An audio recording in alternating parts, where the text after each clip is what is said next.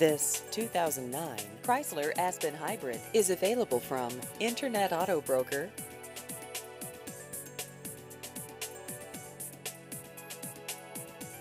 This vehicle has just over 101,000 miles.